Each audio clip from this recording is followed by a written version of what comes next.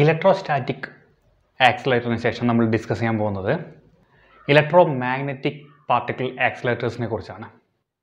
അപ്പോൾ നമുക്കറിയാം ഇലക്ട്രോസ്റ്റാറ്റിക്കിൽ നമ്മൾ ഉപയോഗിച്ചിരുന്നത് സ്റ്റാറ്റിക് ഇലക്ട്രിക് ഫീൽഡാണ് എന്നാൽ ഇലക്ട്രോ മാഗ്നറ്റിക് ആണെങ്കിൽ നമ്മൾ ഇലക്ട്രിക് ഫീൽഡ് വേരിയബിൾ ഇലക്ട്രിക് ഫീൽഡും അതുപോലെ മാഗ്നറ്റിക് ഫീൽഡുമാണ് നമ്മൾ ഉപയോഗിക്കുന്നത്. എന്തിനു വേണ്ടി? നമ്മളുടെ ഈ പാർട്ടിക്കിൾ ആക്സിലേറ്റേഴ്സിന്റെ സോഴ്സ് ആയിട്ട് നമ്മൾ ഉപയോഗിക്കുന്നത്. ഓക്കെ. അപ്പോൾ ഈ ഇലക്ട്രോ മാഗ്നറ്റിക് പാർട്ടിക്കിൾ ആക്സിലേറ്റേഴ്സിന് ഡിഫറെന്റ് ടൈപ്സ് ഉണ്ട്. ആ ഡിഫറെന്റ് ടൈപ്സിൽ one of the electromagnetic particle accelerator അതാണ് linear particle accelerator what is linear particle accelerator or linac or linac linear particle accelerator so എന്തുകൊണ്ടാണ് ലീനിയർ എന്ന് വരാൻ കാരണം? അല്ലെങ്കിൽ ലീനിയർ പാർട്ടിക്കിൾ ആക്സിലേറ്റർ എന്ന പേര് വരാൻ കാരണം തന്നെ അതിന്റെ ഒരു ഫങ്ഷൻ ലീനിയർ ടൈപ്പ് ആയതുകൊണ്ടാണ്. എന്താണെന്നത് നമുക്ക് നോക്കാം. നമ്മൾ ഇതിനെക്കുറിച്ച് ഡീറ്റെയിൽ ആയിട്ട് പറയുന്ന സമയത്ത് നിങ്ങൾക്ക് വളരെ വ്യക്തമായി മനസ്സിലാവും. ഓക്കെ സോ ലിനാക്കിന്റെ ഒരു സ്കീമാറ്റിക് ഡയഗ്രമാണ് നമ്മളിവിടെ കൊടുത്തിരിക്കുന്നത്. ഓക്കെ ഇലക്ട്രോസ്റ്റാറ്റിക് പാർട്ടിക്കിൾ ആക്സിലേറ്ററിൽ ഉപയോഗിച്ചിരുന്നത് സ്റ്റാറ്റിക് ഇലക്ട്രിക് ഫീൽഡ് ആയിരുന്നു. അല്ലേ?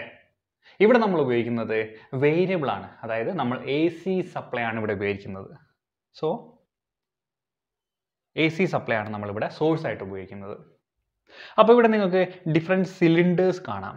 ഈ സിലിണ്ടേഴ്സ് എന്ന് പറഞ്ഞാൽ മെറ്റാലിക് ഹോളോ സിലിണ്ടറുകളാണ് എന്താണ്? മെറ്റാലിക് ഹോളോ സിലിണ്ടറുകൾ so this is a first cylinder second cylinder and third cylinder അപ്പോൾ ഇവിടെ നിങ്ങൾക്ക് ഈ എ സി പവർ സപ്ലൈ ആയിട്ട് നമ്മൾ കണക്ട് ചെയ്തിരിക്കുന്നതായിട്ടും കാണാം. നമ്മൾ ഫസ്റ്റ് സിലിണ്ടറിനെ എ സി പവർ സപ്ലൈയുടെ നെഗറ്റീവ് ടെർമിലായിട്ട് കണക്ട് ചെയ്യുന്നു. സെക്കൻഡിനെ നമ്മൾ പോസിറ്റീവായിട്ട് കണക്ട് ചെയ്യുന്നു. തേർഡിനെ നമ്മൾ നെഗറ്റീവായിട്ട് കണക്ട് ചെയ്യുന്നു. സോ ഇവിടെ നമ്മൾ ഉദാഹരണത്തിന് എടുക്കുന്ന ഇപ്പം ആൽഫ പാർട്ടിക്കിളാണ് നമ്മൾ റേഡിയ റേഡിയേഷന്റെ ഭാഗമായിട്ട് എമിറ്റ് ചെയ്യപ്പെടുന്ന പാർട്ടിക്കിൾ ആൽഫ പാർട്ടിക്കിളാണെന്ന് കരുതുക. സോ ഇവിടെയാണ് നമ്മളുടെ മെറ്റീരിയൽ സോഴ്സ് ഉണ്ടാകുന്നത് അയോൺ സോഴ്സ് സോ ഇവിടെ നിന്നാണ് ആൽഫ പാർട്ടിക്കിൾ ഇജക്റ്റ് ചെയ്ത് പുറത്തെത്തുന്നത്. സോ ഇവിടെ നമ്മൾ എന്ത് ചെയ്യുന്നു? ഈ സോഴ്സ് നമ്മൾ പോസിറ്റീവ് ടെർമിലായിട്ട് കണക്ട് ചെയ്തിരിക്കുന്നു. അപ്പോൾ നിങ്ങൾ ആലോചിക്കുക ഇവിടെ കൊടുത്തിരിക്കുന്ന എന്താണ്? എ സി പവർ സപ്ലൈ ആണ്. എ സി പവർ സപ്ലൈ ആണെങ്കിൽ അത് ആൾട്ടർനേറ്റീവായിട്ട് അതെന്തായി മാറും? പോസിറ്റീവ് നെഗറ്റീവ് ഈ പോസിറ്റീവ് സൈഡ് വീണ്ടും നെഗറ്റീവായി മാറും നെഗറ്റീവ് സൈഡ് പോസിറ്റീവായി മാറും. സോ ആൾട്ടർനേറ്റീവായിട്ട് കറണ്ട് മാറിക്കൊണ്ടേയിരിക്കും. ഫേസ് മാറിക്കൊണ്ടേയിരിക്കും. അങ്ങനെയാണ് നമ്മൾ അതിന്റെ ഫ്രീക്വൻസി കാൽക്കുലേറ്റ് ചെയ്യുകയാണെങ്കിൽ എന്താണ് നമുക്ക് കിട്ടുന്നത്? Omega equal to pi T കിട്ടും. പൈ എന്ന് പറയുന്നത് കോൺസ്റ്റന്റ് ടി എന്ന് പറയുന്നത് ടൈം പീരീഡ് ടൈം പീരീഡ് ഓസിലേഷന് വേണ്ടിയിട്ടുള്ള ടൈം പീരീഡ് സോ ഈ ടൈം പീരീഡ് നമ്മൾ ടി ബൈ ടു കാണുകയാണെങ്കിൽ ഈ ടി എ നമ്മൾ ലെഫ്റ്റ് സൈഡിലേക്ക് കൊണ്ടുവരികയാണെങ്കിൽ T by two equal to pi by omega എന്ന് നമുക്ക് കിട്ടും. സോ ടി ബൈ ടു എന്ന് പറയുന്നത് എന്താണ്? ഒരു ഫുൾ വേവ് ലെങ്ത് ആവാൻ വേണ്ടിയിട്ട്. അതല്ലെങ്കിൽ ഇവിടെ നിന്ന് തുടങ്ങി പോസിറ്റീവ് സൈക്കിൾ കംപ്ലീറ്റ് ചെയ്തു നെഗറ്റീവ് സൈക്കിൾ കംപ്ലീറ്റ് ചെയ്യുക. അതായത് ഒരു ഫുൾ സൈക്കിൾ കംപ്ലീറ്റ് ചെയ്യാൻ പോസിറ്റീവും നെഗറ്റീവും കംപ്ലീറ്റ് ചെയ്യാൻ എടുക്കുന്ന ടൈമാണ് T so T by two എന്ന് പറയുന്നത് എന്താണ്? ഹാഫ് ഓഫ് ദ സൈക്കിൾ എന്ന് വെച്ചാൽ ഇവിടെ നിന്നും സ്റ്റാർട്ട് ചെയ്ത് പോസിറ്റീവ് സൈക്കിൾ കംപ്ലീറ്റ് ചെയ്യാൻ എടുക്കുന്ന ടൈം ടി ബൈ ടു അതല്ലെങ്കിൽ ഇവിടെ നിന്നും സ്റ്റാർട്ട് ചെയ്ത് നെഗറ്റീവ് സൈക്കിൾ കംപ്ലീറ്റ് ചെയ്യാൻ എടുക്കുന്ന time that is T by two so അതിനെ നമുക്ക് എന്താക്കാം? ഹാഫ് ടൈം ആയതുകൊണ്ട് നമുക്കതിനെ ടി ബൈ ടു എന്നതിൽ തന്നെ സ്മോൾ ടി എന്ന് റെപ്രസെന്റ് ചെയ്യാം. So small T equal to pi by omega അങ്ങനെയാണെങ്കിൽ within the time interval T small T ടൈമിനുള്ളിൽ എന്താവും? ഈ പോസിറ്റീവ് ടെർമിനൽ നെഗറ്റീവായിട്ട് മാറും ഈ നെഗറ്റീവ് ടെർമിനൽ പോസിറ്റീവായിട്ട് മാറും. സോ നെക്സ്റ്റ് സെക്കൻഡ് ടി ടൈമിൽ നെഗറ്റീവ് ടെർമിനൽ പോസിറ്റീവായി മാറും പോസിറ്റീവ് ടെർമിനൽ നെഗറ്റീവായി മാറും. സോ ആ വിത്തിൻ ദ ഇന്റർവൽ ടി ടൈമിനുള്ളിൽ എന്താവും? ടെർമിനൽ മാറിക്കൊണ്ടേയിരിക്കും. അങ്ങനെയാണെങ്കിൽ നമ്മൾ ഫസ്റ്റ് ഹാഫിൽ ഇത് പോസിറ്റീവും ഇവിടെ നെഗറ്റീവ് ആണെങ്കിൽ സെക്കൻഡ് ഹാഫിൽ എന്തായി മാറും? ഇവിടെ നെഗറ്റീവും ഇവിടെ പോസിറ്റീവായിട്ട് മാറും. എന്ന് വെച്ചാൽ നമ്മൾ ഫസ്റ്റ് ഹാഫിൽ ഇവിടെ കണക്ട് ചെയ്യുന്ന സമയത്ത് പോസിറ്റീവും നമ്മളുടെ ഈ സിലിണ്ടർ വൺ നെഗറ്റീവായിട്ട് കണക്ട് ചെയ്തിരിക്കുന്നത്. അല്ലേ അപ്പം സീറോ ടു ടി ടൈം വരെ എന്താണ് സംഭവിക്കുന്നത്? നമ്മൾ കണക്ട് ചെയ്തിരിക്കുന്ന പോസിറ്റീവ് ടെർമിനലായതുകൊണ്ട് ഈ സോഴ്സിൽ നമുക്ക് പോസിറ്റീവ് ചാർജ് കിട്ടും. സി വണ്ണിൽ നമുക്ക് നെഗറ്റീവ് ചാർജ് കിട്ടും. സി എന്ന് പറഞ്ഞാൽ സിലിണ്ടർ സിലിണ്ടർ വണ്ണിൽ നമുക്ക് നെഗറ്റീവ് ചാർജ് കിട്ടും. സിലിണ്ടർ ടൂവിൽ നമുക്ക് പോസിറ്റീവ് ചാർജ് കിട്ടും. സിലിണ്ടർ ത്രീയിൽ നമുക്ക് നെഗറ്റീവ് ചാർജ് കിട്ടും.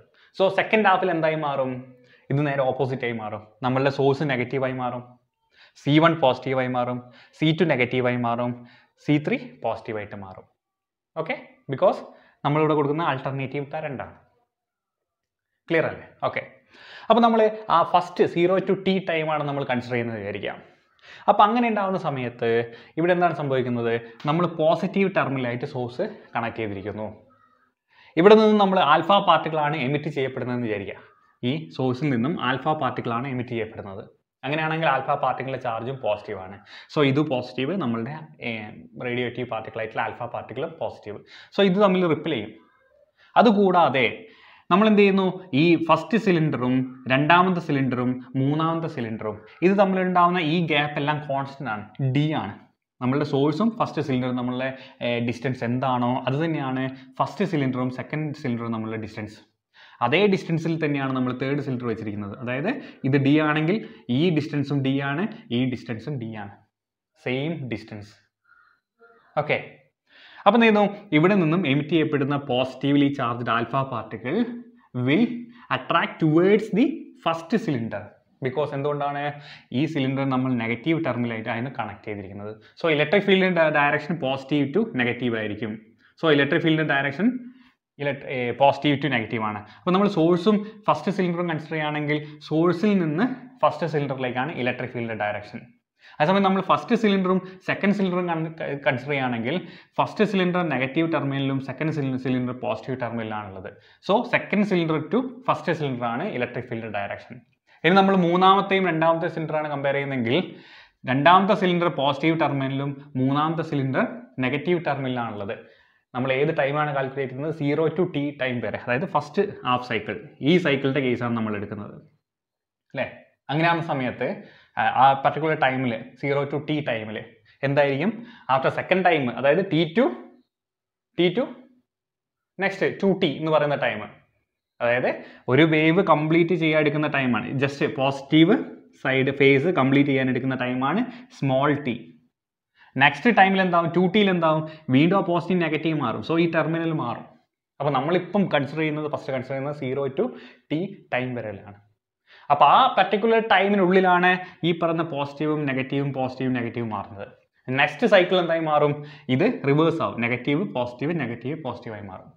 ക്ലിയർ അപ്പോൾ നമ്മളിപ്പം കൊടുക്കുന്ന സമയത്ത് ആൽഫ പാർട്ടിക്കിൾ എന്ത് ചെയ്യുന്നു? ഫസ്റ്റ് ടി സൈക്കിളിൽ ആൽഫ പാർട്ടിക്കിൾ ഈ ഫസ്റ്റ് സിലിണ്ടറിലേക്ക് അട്രാക്റ്റ് ചെയ്യപ്പെടുന്നു. ഫസ്റ്റ് സിലിണ്ടറിലേക്ക് അട്രാക്റ്റ് ചെയ്യപ്പെടുന്നു. ബിക്കോസ് ഇവിടെ നമ്മൾ പോസിറ്റീവാണ് കൊടുത്തത് ഈ സിലിണ്ടറിന് നെഗറ്റീവാണ് കൊടുത്തത്. അങ്ങനെ അട്രാക്റ്റ് ചെയ്യപ്പെടുകയാണെങ്കിൽ എന്താണ് മീനിങ് ഈ ആൽഫ പാർട്ടിക്കിൾ ഇവിടെ നിന്നും ഇതിനകത്തേക്ക് മൂവ് ചെയ്യുന്നു. മൂവ് ചെയ്യുകയാണെങ്കിൽ അവിടെ ഒരു വർക്ക് നടന്നിട്ടുണ്ടാവും അല്ലേ? ഒരു വർക്ക് ഡൺ ഉണ്ടാവും. ആ വർക്ക് ഡൺ നമുക്ക് എങ്ങനെ കണ്ടുപിടിക്കാം? വർക്ക് ഡൺ നമുക്ക് രണ്ട് രീതിയിൽ കാണിക്കാൻ കഴിയും. എന്തൊക്കെയാണത്? W equal to F into D force into displacement displacement എന്ന് പറഞ്ഞാൽ ഏതാണ്? ഈ ഡിസ്റ്റൻസ് ഈ ഡിസ്റ്റൻസിലാണ് ആൽഫ പാർട്ടിക്കിൾ ട്രാവൽ ചെയ്യുന്നത്. So force into dis displacement or Q into V naught Q എന്ന് പറയുന്നത് charge of alpha particle V naught എന്ന് പറയുന്നത് നമ്മൾ ഇനീഷ്യലി സപ്ലൈ ചെയ്ത power V zero potential V zero so Q V zero is equal to W work done or F into D is equal to W work done അങ്ങനെയാണെങ്കിൽ നമുക്ക് F into D Q naught എന്ന് കിട്ടി അല്ലേ F into D is equal to Q sorry Q V naught ആണ്.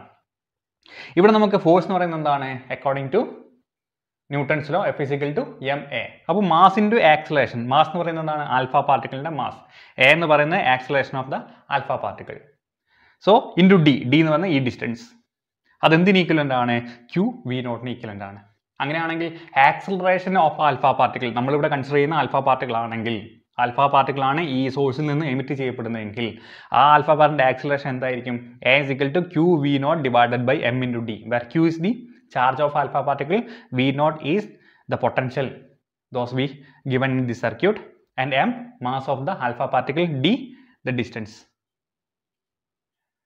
so നമുക്ക് എന്ത് കിട്ടുന്നു? Acceleration of alpha particle കിട്ടുന്നു. അതിന്റെ മീനിങ് എന്താണ്? അവിടെ ആക്സലറേഷൻ നടന്നു എന്നാണ് മീനിങ് എന്ന് വെച്ചാൽ ഇവിടെ നിന്നും ഇജക്റ്റ് ചെയ്യപ്പെടുന്ന ആൽഫ പാർട്ടിക്കിളിന്റെ വെലോസിറ്റി വി വൺ ആണെങ്കിൽ സിലിണ്ടർ വണ്ണിലേക്ക് റീച്ച് ആവുന്ന അല്ലെങ്കിൽ റീച്ച് ആയ സമയത്ത് ഉണ്ടാവുന്ന വെലോസിറ്റി എന്ന് പറയുന്നത് not equal to V one ആയിരിക്കും. എന്ന് വെച്ചാൽ അവിടെ ഒരു വെലോസിറ്റി ചേഞ്ച് ഉണ്ടായി അല്ലേ? Rate of change of velocity ആണ് ആക്സലറേഷൻ സോ ആക്സലറേഷൻ ഇവിടെ ഉണ്ടെങ്കിൽ ഇവിടെ നിന്നും എമിറ്റ് ചെയ്ത ആൽഫ പാർട്ടിക്കിളിന്റെ വെലോസിറ്റി അല്ല ഈ സി വൺ സിലിണ്ടറിൽ റീച്ച് ആവുന്ന ആൽഫ പാർട്ടിക്കിളിന് എന്ന് വെച്ചാൽ വെലോസിറ്റി അവിടെ എന്താവുന്നു? വേരി ആവുന്നു ചേഞ്ച് ആവുന്നു. എങ്ങനെയാണ് അതിന്റെ ക്വാണ്ടിറ്റി മെഷർ ചെയ്യുക സോ ഇനീഷ്യലി അതിന്റെ വെലോസിറ്റി വി വൺ ആണെന്ന് കരുതുക. ഈ സോഴ്സിൽ നിന്നും എമിറ്റ് ചെയ്യപ്പെടുന്ന ആൽഫ പാർട്ടിക്കിളിന്റെ വെലോസിറ്റി വി വൺ ആണെങ്കിൽ ഈ ഫസ്റ്റ് സിലിണ്ടറിൽ റീച്ച് ആവുന്ന ആൽഫ പാർട്ടിക്കിളിന്റെ വെലോസിറ്റി വി ടു എന്ന് നമുക്ക് കൺസിഡർ ചെയ്യാം. അങ്ങനെയാണെങ്കിൽ V two square is equal to V one plus two A D ആയിരിക്കും. എന്താണ് വി ടു ആൽഫ പാർട്ടിക്കിൾ നമ്മളുടെ ഫസ്റ്റ് സിലിണ്ടറിൽ റീച്ച് ആവുന്ന ടൈമിൽ ആ alpha പാർട്ടിക്കിളിന്റെ velocity V two V one എന്ന് പറയുന്നത് സോഴ്സിൽ നിന്നും എമിറ്റ് ചെയ്യപ്പെടുന്ന ടൈമിൽ വെലോസിറ്റി ആൽഫ പാർട്ടിക്കിളിന്റെ വെലോസിറ്റി വി വൺ എ എന്ന് പറയുന്നത് ആക്സലറേഷൻ ഡി എന്ന് പറയുന്നത് distance here D is constant അപ്പോൾ വി ടു എന്ത് ചെയ്യുന്നു? മാറുന്നു. വി വണ്ണിനെ അപേക്ഷിച്ച് വി ടു എന്ന് പറയുന്നത് എന്താണ് അധികമായിരിക്കും. എന്തുകൊണ്ടാണ് അധികം എന്ന് പറയാൻ കാരണം? ബിക്കോസ് ഇവിടെ നമ്മൾ ആൽഫ പാർട്ടിക്കിൾ എമിറ്റ് ചെയ്തു. ഇവിടെ നെഗറ്റീവ് ചാർജ് ആണുള്ളത്. ഈ സിലിണ്ടറിന് നെഗറ്റീവ് ചാർജ് ആണുള്ളത്. സോ സിലിണ്ടർ എന്ത് ചെയ്യും? ആൽഫ പാർട്ടിക്കിളിനെ അട്രാക്ട് ചെയ്യും. അട്രാക്ട് ചെയ്യുന്ന സമയത്ത് അതിന്റെ കൈനറ്റിക് എനർജി കൂടും. കൈനറ്റിക് എനർജി കൂടും അതിന്റെ വെലോസിറ്റി കൂടും. കാരണം kinetic energy directly proportional velocity അല്ലേ kinetic energy is equal to half M B square so V എന്ന് പറയുന്നത് കൈനറ്റിക് എനർജി പ്രൊപ്പോർഷണൽ ആണ്. അപ്പോൾ ഇവിടെ കൈനറ്റിക് എനർജി കൂടുന്നു എന്ന് പറയാൻ കാരണം എന്താണ്? അതിന്റെ വെലോസിറ്റി കൂടുന്നതുകൊണ്ടാണ് സോ ഈ സോഴ്സിൽ നിന്നും എമിറ്റ് ചെയ്യപ്പെടുന്ന ആൽഫ പാർട്ടിക്കിൾ വെലോസിറ്റി ഇൻക്രീസ് ചെയ്തുകൊണ്ട് അധികപ്പെടുത്തിക്കൊണ്ട് ഈ സി വൺ എന്ന് പറയുന്ന സിലിണ്ടറിലേക്ക് റീച്ച് ആവുന്നു. സിലിണ്ടറിൽ റീച്ച് ആയി. അപ്പം സപ്പോസ് ഇവിടെയാണ് റീച്ച് ആയത്. ആൽഫ പാർട്ടിക്കിൾ എന്ത് ചെയ്യുന്നു? അറ്റ് എ ടൈം ടി സീറോയിൽ time T equal to zero ആണെന്ന് വിചാരിക്കുക. ടി ഇക്കൽ ടു സീറോ ആണ്. ആഫ്റ്റർ ടൈം ടി എന്ത് ചെയ്യുന്നു? ഈ പോയിന്റിൽ നമ്മളുടെ ആൽഫ പാർട്ടിക്കിൾ റീച്ച് ആവുന്നു. ഈ പോയിന്റിൽ നമ്മൾ ആൽഫ പാർട്ടിക്കിൾ റീച്ച് ആവുന്നു. അങ്ങനെയാണെങ്കിൽ ഈ ഡയറക്ഷനിലേക്കാണത് മൂവ്മെന്റ് നടന്നിട്ടുണ്ടാവുക അല്ലെ? ഈ ഡയറക്ഷനാണ് മൂവ് ചെയ്തിരിക്കുന്നത്. സോ ലീനിയർ ആയിട്ടാണ് അല്ലെ? ഒരു ലൈനിലാണ് അതിന്റെ മൂവ്മെന്റ് നടക്കുന്നത്. അതുകൊണ്ടാണ് ഇതിനെ ലീനിയർ പാർട്ടിക്കിൾ ആക്സലേറ്റർ എന്ന് പറയുന്നത്. ലീനിയർ സ്ട്രെയിറ്റ് ലൈനിലാണ് അതിന്റെ ആക്സലേഷൻ നടന്നുകൊണ്ടിരിക്കുന്നത്. ക്ലിയർ ഇനി ഇവിടെ വി വൺ ആണ് വെലോസിറ്റി എങ്കിൽ ഈ ആഫ്റ്റർ ടൈം ടിയിൽ എന്തായി? വി ടു ആയിട്ട് മാറി വെലോസിറ്റി ഇനി ഈ സിലിണ്ടറിന്റെ അകത്ത് മൂവ് ചെയ്യുന്ന സമയത്ത് ആ വെലോസിറ്റിയിൽ എന്തെങ്കിലും ചേഞ്ച് ഉണ്ടാവുമോ ഇല്ല ചേഞ്ച് ഉണ്ടാവില്ല കാരണം എന്തുകൊണ്ടാണ്? Inside the cylinder there is no electric sorry there is the electric field is constant inside the cylinder electric field is constant there is no change in electric field അങ്ങനെയാണെങ്കിൽ electric field change ഇല്ലാത്തത് കൊണ്ട് ഈ സിലിണ്ടറിന്റെ അകത്ത് velocity എന്ന് പറയുന്നത് എന്തായിരിക്കും? V two തന്നെയായിരിക്കും. കാരണം സിലിണ്ടറിൽ ജസ്റ്റ് റീച്ച് ടച്ച് ആയ സമയത്ത് എന്താണോ അതിന്റെ വെലോസിറ്റി അതേ വെലോസിറ്റിയിലാണ് അത് അതിന്റെ ഉള്ളിലൂടെ മൂവ് ചെയ്ത് പോവുക. അല്ലേ? അപ്പോൾ ഇത് ജസ്റ്റ് ഈ പുറത്തെത്തുന്ന സമയത്തും അതിന്റെ വെലോസിറ്റി എന്ത് തന്നെയാണ്? ഫസ്റ്റ് സിലിണ്ടറിന്റെ പുറത്തെത്തുന്ന സമയത്തും വെലോസിറ്റി എന്ന് പറയുന്നത് എന്ത് തന്നെയാണ്? വി ടു തന്നെയാണ്. വെലോസിറ്റി എന്ന് പറയുന്നത് വി ടു തന്നെയാണ്. ഓക്കെ ക്ലിയർ അപ്പം ഈ വി ടു വെലോസിറ്റിയിൽ എന്ത് ചെയ്യുന്നു? ഫസ്റ്റ് സിലിണ്ടറിൽ നിന്നും നമ്മുടെ ആൽഫ പാർട്ടിക്കിൾ പുറത്തേക്ക് എത്തുന്നു. പുറത്തെത്തി കഴിയുന്ന സമയത്ത് എത്രയാണ് ടൈം എടുക്കുന്നത്? സീറോ ടു ടി ടൈമാണ് എടുക്കുക. സീറോ ടു ടി ടൈമാണ് എടുക്കുക. അപ്പോൾ ഇവിടെ സീറോ ടു ടി ടൈം എന്ന് വെച്ചാൽ സ്മോൾ ടി ടൈം എടുത്തു കഴിഞ്ഞാൽ ഫസ്റ്റ് ഹാഫ് സൈക്കിൾ കംപ്ലീറ്റ് ആയി. സോ വീണ്ടും എന്ത് ചെയ്യും? നെക്സ്റ്റ് ഹാഫ് സൈക്കിളാണ് വരിക. അപ്പൊ ഇവിടെ പോസിറ്റീവ് ആയിരുന്നു എങ്കിൽ ആഫ്റ്റർ ടൈം ടിയിൽ ആഫ്റ്റർ ടൈം ടിയിലാണ് ഇവിടെ എന്താവുന്നത് റീച്ച് ആവുന്നത്. അല്ലേ? നമ്മൾ ഇവിടെ നിന്ന് ഇനീഷ്യലി ഈ സോഴ്സിൽ നിന്നും എമിറ്റ് ചെയ്യപ്പെടുന്ന ആൽഫ പാർട്ടിക്കിൾ ടി അതായത് പൈ ബൈ ഒമേഗ ടൈം എടുത്തുകൊണ്ട് എന്ത് ചെയ്യുന്നു? നമ്മളുടെ ഫസ്റ്റ് സൈക്കിളിന്റെ പുറത്തെത്തും. ഫസ്റ്റ് സോറി ഫസ്റ്റ് സിലിണ്ടറിന്റെ പുറത്തെത്തും. പുറത്തെത്തും. ജസ്റ്റ് പുറത്തെത്തുന്ന ടൈമിൽ എന്താവും? ടൈം സീറോ ടു ടി ആയിട്ടുണ്ടാവും. എന്ന് വെച്ചാൽ ഫസ്റ്റ് ഹാഫ് സൈക്കിൾ കംപ്ലീറ്റ് ആയി. ഫസ്റ്റ് ഹാഫ് സൈക്കിൾ കംപ്ലീറ്റ് ആകുന്ന സമയത്ത് നെക്സ്റ്റ് എന്ത് ചെയ്യും? ഇതിന്റെ പൊട്ടൻഷ്യൽ ടെർമിനൽ മാറും. സോ ആ ടി ടൈമിൽ ഇവിടെ പോസിറ്റീവ് നെഗറ്റീവ് ആയിരുന്നെങ്കിൽ നെക്സ്റ്റ് ഹാഫ് സൈക്കിൾ എന്താവുന്നു? ഈ ഭാഗം പോസിറ്റീവ് ആകുന്നു ഈ ഭാഗം നെഗറ്റീവ് ആകുന്നു. സോ നെഗറ്റീവ് ആകുന്ന സമയത്ത് ഈ അത്രയും സമയം ഇവിടെ പോസിറ്റീവ് ആയിരുന്നത് എന്തായി മാറും? നെഗറ്റീവായിട്ട് മാറും. ഇവിടെ എന്തായിട്ട് മാറും? പോസിറ്റീവായിട്ട് മാറും. സോ ആൽഫ പാർട്ടിക്കിൾ എന്ത് ചെയ്യുന്നു? എമിറ്റ് ചെയ്യപ്പെടുന്ന സമയത്ത് ഈ നെഗറ്റീവ് ടെർമിനൽ കൊണ്ട് വീണ്ടും സി ടു എന്ന് പറയുന്ന സിലിണ്ടറിലേക്ക് അട്രാക്ട് ചെയ്യപ്പെടുന്നു. സി ടു എന്ന് പറയുന്ന സിലിണ്ടറിലേക്ക് അട്രാക്ട് ചെയ്യപ്പെടുന്നു. അങ്ങനെയാണെങ്കിൽ വെലോസിറ്റി വീണ്ടും മാറും. കാരണം എന്തുകൊണ്ടാണ്? നമ്മൾ ഈ ഇക്വേഷനിൽ സബ്സ്റ്റിറ്റ്യൂട്ട് ചെയ്ത് നോക്കൂ. ഇവിടെ വി ടു നമ്മൾ കണ്ടുപിടിച്ചു. ഇനി നമുക്ക് കാണേണ്ട വി വി ത്രീ ആണ്. വി ത്രീ ആണ് ഇവിടെ എത്തുന്നത്. അങ്ങനെയാണെങ്കിൽ എന്താണ് വരിക? V three square is equal to V two square plus two A D അല്ലേ? അപ്പോൾ ഫസ്റ്റ് വി വൺ ആണ് നമ്മൾ എടുത്തിരുന്നത്. ഇപ്പം നമ്മൾ എടുക്കുന്നത് എന്താണ് വി ടു ആണ് എടുക്കുന്നത്. അപ്പോൾ വി ത്രീ കാണണമെങ്കിൽ V three square is equal to V two square plus two Q V naught by M D D അല്ലേ? Or V three square is equal to V two square plus Q Q V zero M എന്ന് നമുക്ക് കിട്ടും. Clear അപ്പോൾ ഇങ്ങനെ എന്ത് ചെയ്യും? Linear ആയിട്ട് ഈ പാർട്ടിക്കിൾ മൂവ് ചെയ്തുകൊണ്ടേയിരിക്കും. Alpha particle move ചെയ്തുകൊണ്ടേയിരിക്കും.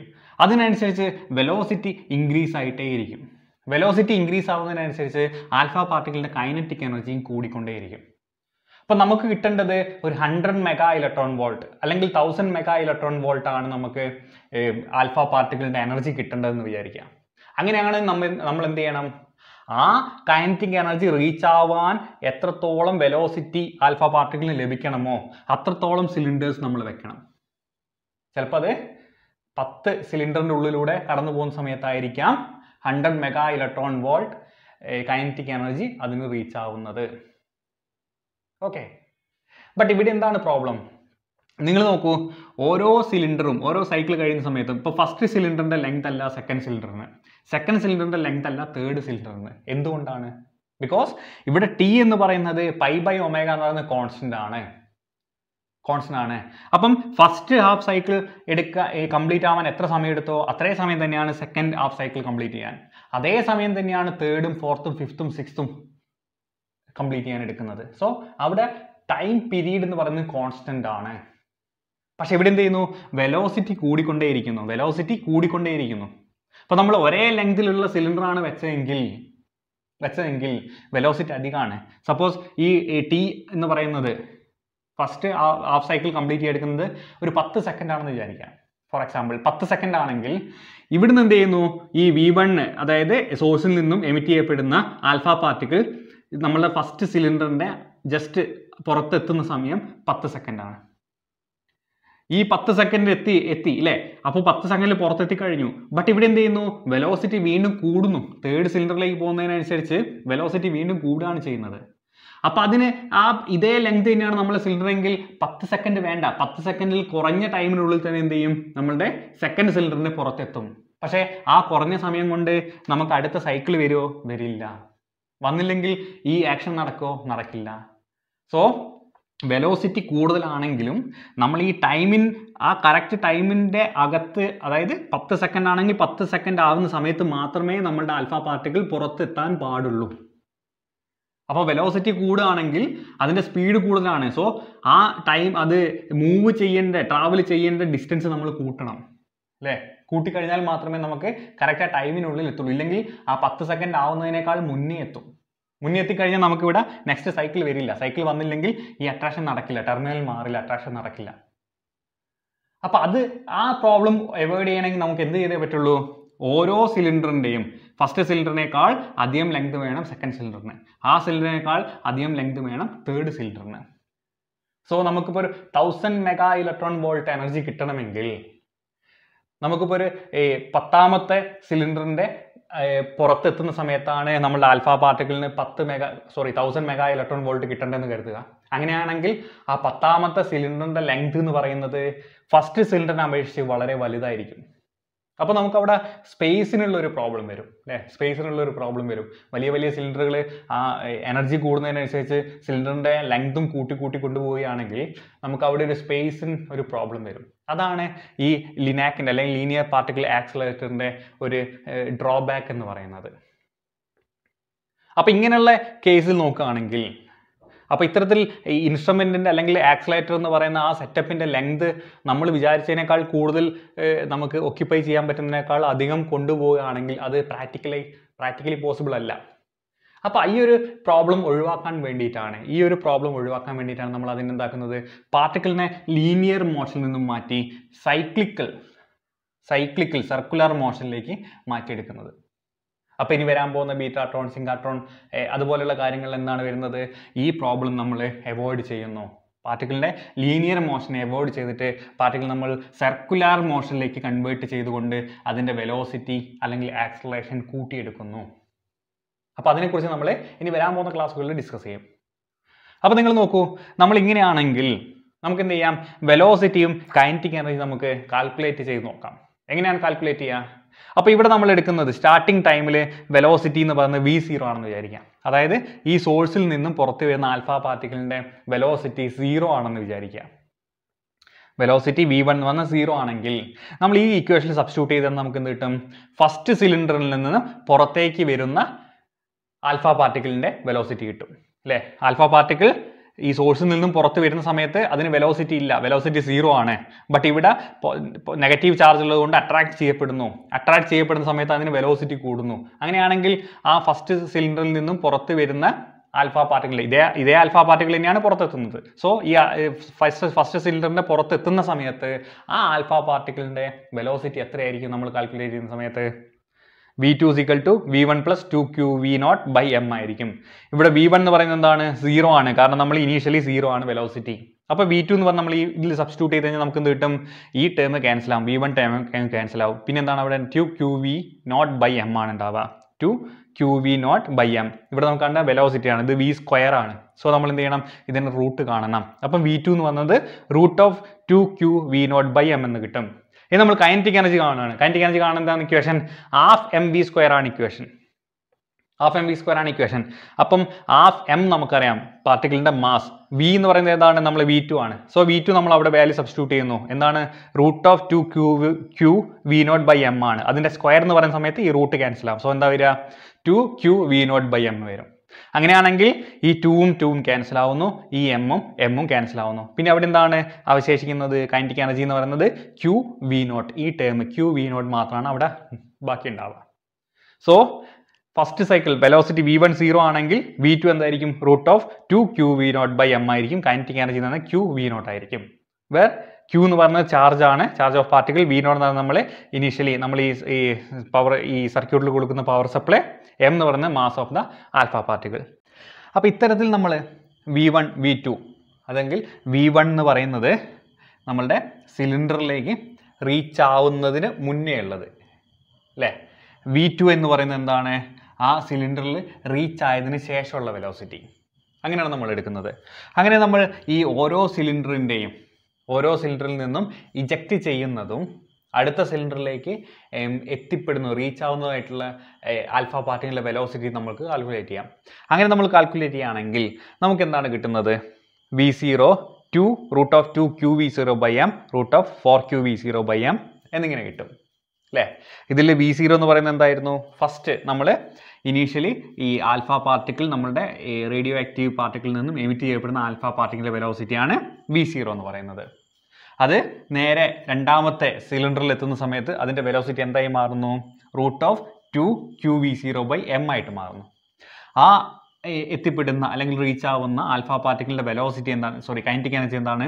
Q V zero എന്നാൽ ഈ വി ടുന്റെ വെലോസിറ്റി നമുക്ക് എന്താക്കാം? ഇനി നെക്സ്റ്റ് ഇവിടെ നിന്നും എമിറ്റ് ചെയ്യപ്പെടുന്ന പോലെ തന്നെയാണ് നമ്മൾ വി ടു എന്ന് പറയുന്ന സിലിണ്ടറിൽ നിന്നും എമിറ്റ് ചെയ്യപ്പെടുന്ന പാർട്ടിക്കൽ ആൽഫ പാർട്ടിക്കൽ നമ്മൾ കൺസിഡർ ചെയ്യുകയാണെങ്കിൽ ആ വി ടു ആയിരിക്കണം അതിന്റെ അതായത് ഫസ്റ്റ് സിലിണ്ടറിൽ നിന്നും പുറത്തേക്ക് വരുന്ന ആൽഫ പാർട്ടിക്കിന്റെ വെലോസിറ്റി എന്ന് പറയുന്നത് വി ടു ആയിരിക്കണം. സോ ആ വി ടു നമുക്ക് എന്ത് ചെയ്യാം? ഇവിടെ എടുത്ത് എഴുതാം. അപ്പം എന്ത് വരുന്നു? അതിന്റെ velocity root of two q v zero by m വരുന്നു. ഇനി ഈ സെക്കൻഡ് സിലിണ്ടറിൽ റീച്ച് ആവുന്ന സമയത്ത് അതിന്റെ വെലോസിറ്റി കാണണമെങ്കിൽ നമുക്ക് ഈ ഇക്വേഷൻ സബ്സ്റ്റിറ്റ്യൂട്ട് ചെയ്യാം. സോ ഇവിടെ v three square is two v two square plus two q v zero by m എന്നുള്ള ഇക്വേഷൻ നമുക്ക് ലഭിക്കുന്നു. സോ അങ്ങനെ നമ്മൾ കാൽക്കുലേറ്റ് ചെയ്യുകയാണെങ്കിൽ നമുക്ക് അതിന്റെ വാല്യൂ എന്ത് കിട്ടും? Root of four q v zero by m എന്ന് കിട്ടും. എന്ന് വെച്ചാൽ ഈ വി ഈ നമ്മളുടെ സെക്കൻഡ് സിലിണ്ടറിൽ റീച്ച് ആയതിനു ശേഷം സെക്കൻഡ് സിലിണ്ടറിലേക്ക് എത്തിപ്പെട്ടതിന് ശേഷം ഉണ്ടാവുന്ന ആൽഫ പാർട്ടിക്കിളിന്റെ വെലോസിറ്റിയാണ് root of four q v zero by m എന്ന് പറയുന്നത്. ആ ആൽഫ പാർട്ടിക്കിളിലെ കൈനറ്റിക് എനർജി എന്തായിട്ട് മാറുന്നു? ടു ക്യൂ വി സീറോ ആയിട്ട് മാറുന്നു. സോ ഇവിടെ എത്തിപ്പെടുന്ന അതേ പാർട്ടിക്കിൾ ആൽഫ പാർട്ടിക്കിൾ ഇതിന്റെ അകത്തൂടെ കടന്നു പോകുന്നു. ആ ഇതിനകത്ത് സിലിണ്ടറിന്റെ അകത്ത് അവിടെ യാതൊരു തരത്തിലുള്ള ആക്സലേഷൻ സംഭവിക്കില്ല. കാരണം അതിന്റെ അകത്തുണ്ടാകുന്ന ഇലക്ട്രിക് ഫീൽഡ് എന്ന് പറഞ്ഞാൽ കോൺസ്റ്റന്റ് ആണ്. സോ അതേ വെലോസിറ്റിയിലാണ് ഇത് പുറത്തേക്ക് വരുന്നത്. രണ്ടാമത്തെ സിലിണ്ടറിന് പുറത്തേക്ക് വരുന്നത്. സോ ആ വെലോസിറ്റി നമുക്ക് എന്താ എഴുതാം? Root of four q v zero by m എന്ന് എഴുതാം. ഇനി അത് മൂന്നാമത്തെ സിലിണ്ടറിൽ റീച്ച് ആകുന്ന സമയത്ത് അതിന്റെ വെലോസിറ്റി നമുക്ക് എങ്ങനെ കാണാം. ഇവിടെ നമുക്ക് v four square is equal two v three square plus two q v zero by m substitute ചെയ്യാം. അങ്ങനെ സബ്സ്റ്റിറ്റ്യൂട്ട് ചെയ്താൽ നമുക്ക് എന്ത് കിട്ടും? Root of six six q v zero by m എന്ന് കിട്ടും. ഇനി ഈ റീച്ച് ആയതിനു ശേഷം ഉണ്ടാകുന്ന ആൽഫ പാർട്ടിക്കിളിന്റെ മൂന്നാമത്തെ സിലിണ്ടറിൽ റീച്ച് ആയതിനു ശേഷം ഉണ്ടാകുന്ന ആൽഫ പാർട്ടിക്കിളിന്റെ കൈനറ്റിക് എനർജി എന്ന് പറയുന്നത് നമുക്ക് എന്താണ്? ഇതേ ഇക്വേഷൻ നമുക്ക് സബ്സ്റ്റിറ്റ്യൂട്ട് ചെയ്യാം. എന്താണ്? ഹാഫ് എം ബി സ്ക്വയർ എന്നുള്ള ഇക്വേഷൻ സബ്സ്റ്റിറ്റ്യൂട്ട് ചെയ്താൽ നമുക്ക് ത്രീ ക്യൂ വി സീറോ എന്ന് കിട്ടും. അതായത് ഇവിടെ എൻട്രി ആവുന്ന എൻട്രി ആവുന്ന ഓരോ സിലിണ്ടറിലേക്കും എൻട്രി ആവുന്ന ആൽഫ പാർട്ടിക്കിളിന്റെ വെലോസിറ്റി എന്ന് പറയുന്നത് ഫസ്റ്റ് സീറോ പിന്നെ root of two q v zero by m അതിനുശേഷം four q v zero by m next six q v zero by m next eight q v zero by m next ten q v zero by m അങ്ങനെ പോയിക്കൊണ്ടിരിക്കും. ഇനി ഓരോ പാർട്ടിക്കിളും reach ഓരോ സിലിണ്ടറിലും reach ആവുന്ന അല്ലേ? First സിലിണ്ടറിൽ reach ആയതാണ് V two എന്ന് പറയുന്നത്. സെക്കൻഡ് സിലിണ്ടറിൽ റീച്ച് ആവുന്നതാണ് വി ത്രീ എന്ന് പറയുന്നത്. തേർഡ് സിലിണ്ടറിൽ റീച്ച് ആവുന്ന ആൽഫ പാർട്ടിക്കൽ വെലോസിറ്റിയാണ് വി ഫോർ എന്ന് പറയുന്നത്. അത് നമ്മൾ എങ്ങനെ ടാബ്ലേറ്റ് ചെയ്യുകയാണെങ്കിൽ എന്താണ് അതിന്റെ വാല്യൂ വരിക? Root of two q v q v zero by m root of four q q v zero by m root of six q v zero by m root of eight q v zero by m root of ten q v zero by m so അങ്ങനെ പോയിക്കൊണ്ടിരിക്കും okay ഇനി നമ്മൾ kinetic energy calculate ചെയ്യുകയാണെങ്കിൽ first സിലിണ്ടറിന്റെ അകത്ത് reach ആയി കഴിഞ്ഞാൽ അതിന്റെ കൈനറ്റിക് എനർജി എന്ന് പറയുന്നതാണ് q v zero so in the case of second cylinder two q v zero third cylinder three q v zero fourth cylinder four q v zero fifth cylinder five q v zero sixth cylinder six q v zero so അങ്ങനെ അതിന്റെ value മാറിക്കൊണ്ടേയിരിക്കും. അല്ലേ അപ്പോൾ നമുക്ക് calculate ചെയ്യാൻ കഴിയുന്നു. എന്തൊക്കെ? നമ്മൾക്ക് വേണ്ട പർട്ടിക്കുലർ കൈനറ്റിക് എനർജി എത്രയെന്ന് നമുക്കറിയാം. അല്ലേ നമുക്ക് തൗസൻഡ് മെഗാ ഇലക്ട്രോൺ വോൾട്ടാണ് നമ്മളുടെ ഔട്ട്പുട്ട് കിട്ടേണ്ടതെങ്കിൽ ആൽഫ പാർട്ടിക്കിളിനെ ഈ ലീനിയർ പാർട്ടിക്കിൾ ആക്സലേറ്ററിലൂടെ കടന്നുപോയി നമുക്ക് ഔട്ട്പുട്ട് കിട്ടേണ്ടത് ആൽഫ പാർട്ടിക്കിളിന്റെ കൈനറ്റിക് എനർജി എന്ന് പറയുന്നത് തൗസൻഡ് മെഗാ ഇലക്ട്രോൺ വോൾട്ട് ആണെങ്കിൽ ആ thousand mega electron volt kinetic energy കിട്ടാൻ വേണ്ടിയിട്ടുള്ള വെലോസിറ്റി എത്രയാണെന്നുള്ളത് നമുക്ക് കാൽക്കുലേറ്റ് ചെയ്യാൻ കഴിയും. സോ ആ വെലോസിറ്റി റീച്ച് ആണെങ്കിൽ എത്ര സിലിണ്ടർ നമ്മൾ ഇതേപോലെ ലീനിയർ ആയിട്ട് പ്ലേസ് ചെയ്യണം എന്നുള്ളത് നമുക്ക് മനസ്സിലാവും. സോ അത്രത്തോളം സിലിണ്ടറും അതിനനുസരിച്ച് ഉണ്ടാവുന്ന ആ സിലിണ്ടറിന്റെ ലെങ്തിലും വ്യത്യാസങ്ങൾ നമുക്ക് കാൽക്കുലേറ്റ് ചെയ്ത് എടുക്കാവുന്നതാണ്. അല്ലേ? ഓക്കെ അപ്പം ഇത് ഇതിനെയാണ് നമ്മൾ എന്ത് പറയുന്നത്? ലീനിയർ പാർട്ടിക്കിൾ ആക്സിലേറ്റർ എന്ന് പറയുന്നത്. ഇനി നമ്മൾ ഈ ലീനിയർ പാർട്ടിക്കിൾ ആക്സിലേറ്ററിന്റെ എന്തായിരുന്നു അതിന്റെ ഡ്രോബാക്ക് എന്ന് പറയുന്നത്? ഈ സിലിണ്ടറിന്റെ ഓരോ സിലിണ്ടർ എണ്ണത്തിനനുസരിച്ച് എന്താവും? ആ സിലിണ്ടറിന്റെ ലെങ്തും കൂടുതലായിട്ട് വേണ്ടി വരും. സോ എന്തുകൊണ്ടാണ് ഈ particular time constant time t is equal two pi omega constant ആയിട്ട് കീപ്പ് ചെയ്യുന്നതുകൊണ്ടാണ് അത്. അപ്പോൾ ഈ ഒരു ഡ്രോബാക്ക് ഓവർകം ചെയ്യാൻ വേണ്ടിയിട്ട് ഇനി വരാൻ പോകുന്ന പാർട്ടിക്കുലർ ആക്സിലേറ്റേഴ്സ് നമ്മൾ പഠിക്കാൻ പോകുന്നതിലെല്ലാം എന്താണ്? ഈ ആൽഫ പാർട്ടിക്കിൾ അല്ലെങ്കിൽ ബീറ്റ പാർട്ടിക്കിൾ എന്ന് പറയുന്നത് സർക്കുലാർ ഓർബിറ്റലിലായിരിക്കും അതിന്റെ മൂവ്മെന്റ് അല്ലെങ്കിൽ ആക്സലറേഷൻ എന്ന് പറയുന്നത്. സോ ഇനി നമുക്ക് അതിനെക്കുറിച്ച് നോക്കാം. ഓക്കെ